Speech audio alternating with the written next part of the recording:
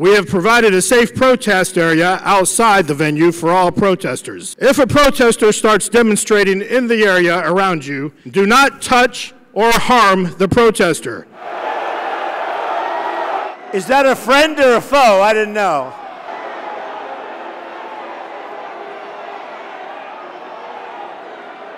You know, it's actually, if you think about it, it's very rude. It really is very rude. What's the purpose? What are they doing? You know, the sad part, it's such a small group of people. We have thousands of people here. We set a record in the history of this, and tomorrow the headlines will be protesters. That's what it's going to be.